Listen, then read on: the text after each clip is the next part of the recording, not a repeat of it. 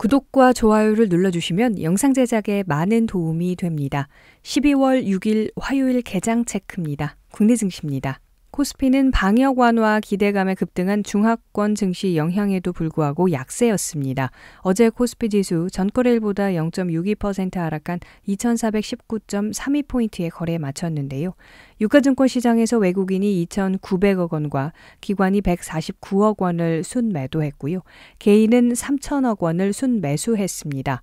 시가총액 상위주 중 네이버와 카카오 등 인터넷주를 제외하고 일제히 하락했는데요. 삼성전자와 LG에너지 솔루션, 삼성바이오로직스 등이 내렸습니다. 반면 중국 코로나19 방역 완화 기대감에 LG 생활건강과 아모레퍼시픽 등 화장품주는 6% 이상 급등했고요. 하나투어와 호텔신라 등도 5% 넘게 올랐습니다. 코스닥 지수는 0.05% 오른 733.32포인트에 마감했습니다. 외국인이 520억 원, 기관이 6억 원을 순매도했고요. 반면 개인은 649억 원 매수 우위였습니다. 시총 상위 종목 중 LNF가 6% 넘게 떨어졌고 에코프로 역시 4%대 약세를 나타냈습니다.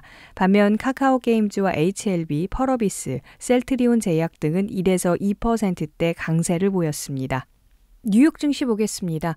뉴욕 증시는 기대 이상의 경제 지표의 긴축이 지속될 수 있다는 우려에 하락했습니다. 뉴욕 증권거래소에서 다우존스 지수 1.4% 밀린 33,947포인트에 마감했고요. S&P 500 지수는 1.79% 하락한 3,998포인트, 나스닥 지수는 1.93% 내린 11,239포인트에 거래 마쳤습니다. 장 초반부터 지난주 고용 보고서 호조 여파가 이어졌고요. 서비스업 지표도 전망치를 웃돌면서 강한 구매력을 바탕으로 한 인플레이션 우려가 지속됐습니다. 종목 가운데 테슬라는 상하이 공장의 생산량 감축 보도에 사실이 아니라고 답변했음에도 주가는 7% 가까이 하락했고요. 아마존과 넷플릭스 등 기술주는 성장 우려로 각각 2% 이상 내렸습니다. 국제유가 하락에 엑손 모빌과 쉐보론 등 정유주는 2% 넘게 하락했습니다. 반면 마카오 관련 카지노 주식은 중국의 코로나19 규제 완화에 대한 기대감으로 상승했습니다. 유럽 증시 보겠습니다. 유럽 증시는 영국을 제외하고 대부분 하락했습니다. 독일 닥스 지수 0.56% 내린 14,447포인트 기록했고요. 프랑스 깨아크 40 지수는 0.67% 내린 6,696포인트, 영국 푸츠 100 지수는 0.15% 오른 7,567포인트로 집계됐습니다. 유럽 증시는 오는 15일로 예정된 유럽 중앙은행 통화정책 회의를 앞두고 경제 지표가 부진했는데요. S&P 글로벌 유로존 종합 PMI 구매 관리자 지수 최종치는 11월 47.8을 기록하면서 기준선을 여전히 하회했습니다. 유로존의 10월 소매 판매도 큰 폭으로 감소했는데요. 유럽연합 통계 당국인 유로스타트가 발표한 자료에 따르면 10월 유로존의 소매 판매는 전월보다 1.8% 줄었고 전년 동월 대비로는 2.7% 감소했습니다. 아시아 증시 보겠습니다. 아시아 증시는 전반적인 상승세였는데요. 어제 일본 니케 225 지수 0.15% 오른 27,820포인트에 마감했습니다. 일본 증시는 달러 대비 엔화가 강세를 보이면서 자동차를 비롯한 수출주의 실적 개선 기대가 축소됐습니다. 중국 상하 종합 지수는 1.76% 오른 3,211포인트에 장 마쳤는데요.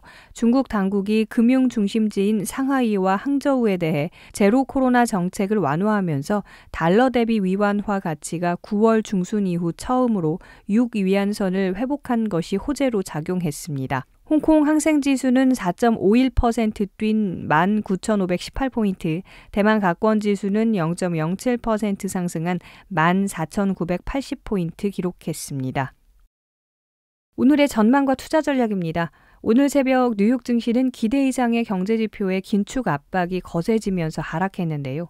노동길 신한투자증권 연구원은 12월 FOMC는 매와 비둘기가 공존할 수밖에 없는 상황으로 박스권 장세 가능성을 키우는 요인이라고 판단했습니다. 시장 방향성이 뚜렷하지 않은 국면에서 기댈 곳은 이익으로 12월은 지수보다 업종 위주로 접근해야 한다고 조언했는데요. 이익 변화율이 우호적인 가운데 시장 수익률을 하회했던 업종인 보험과 헬스케어, 상사, 에너지, 자동차 업종에 관심 갖자고 말했고요. 동시에 속도 조절 국면에서 낮은 베타를 갖고 있는 업종인 통신과 소프트웨어, 헬스케어, 반도체, 필수 소비재와 보험 업종도 관심 대상입니다. 오늘장 대응 잘하시길 바라면서 지금까지 12월 6일 개장 체크였습니다.